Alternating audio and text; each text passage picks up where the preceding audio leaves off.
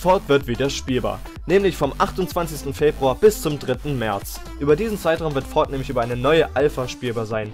Wie ihr an dieser teilnehmen könnt und viele weitere Neuigkeiten, die gedroppt wurden, als ich gerade im Urlaub war, werdet ihr in diesem Video erfahren. Außerdem gibt es seit einer Weile wieder eine neue Cinematic, denn zum Replay-Mode, also dem Kinomodus von Ford, gibt es auch Neuigkeiten.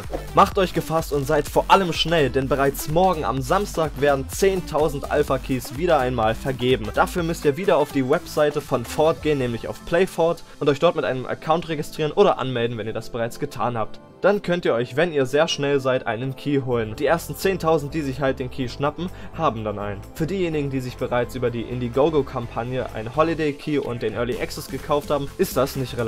Ab morgen, dem 22. Februar, wird dann ab 1pm EST, also etwa um 7 nachmittags bei uns, der Zugriff auf die Keys gewährleistet. Also seid ab dann auf jeden Fall am Start und gönnt euch so einen Key. Doch das ist noch nicht alles. Zusätzlich zu dieser geschlossenen Alpha soll nämlich auch noch vor dem Early Access eine Open Alpha kommen. Dann können nämlich alle, die wollen, an der Alpha teilnehmen. Wie genau das funktioniert, haben sie noch nicht bekannt gegeben, das konnte man nur in einem Stream von ihnen heraushören. In letzter Zeit gab es sehr viele Neuigkeiten sofort, so zum Beispiel die Überarbeitung der Heldenkits. Von nun an hat nämlich jeder Held vier aktive Fähigkeiten und eine passive, also so ähnlich wie wir es aus Legacy-Zeiten kennen. Aktuell wird also daran gearbeitet, die ganzen Heldenkits neu zu gestalten und zusätzlich soll auch ein erster eigener Held, also komplett neuer Held ins Spiel gebracht werden, den es noch nie in Paragon gegeben hat und auch kein Konzept vorher bestand. Des Weiteren, wie man vielleicht schon bemerkt hat, wird gerade hart daran gearbeitet, das Spiel visuell attraktiver zu gestalten. Item-Icons werden jetzt von richtigen Künstlern überarbeitet und Animationen ebenso. Dies ist nur möglich durch das Geld, das das Team durch die Kampagne bekommen hat.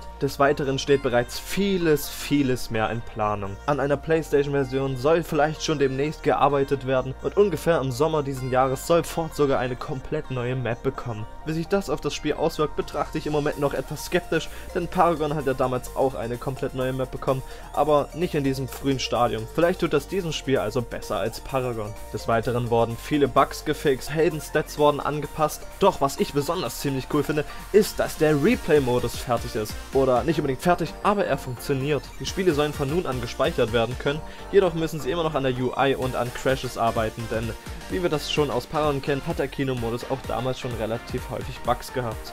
Daran müssen sie jetzt noch arbeiten, aber er ist auf jeden Fall schon mal drinne. Und dafür auch wichtig ist Controller Support. Denn wenn es wie in Paragon ist, dass es keine Keyframes gibt, also um Cinematics zu machen, dann ist es besonders wichtig mit dem Stick vom Controller smooth Kameraanimationen zu erschaffen.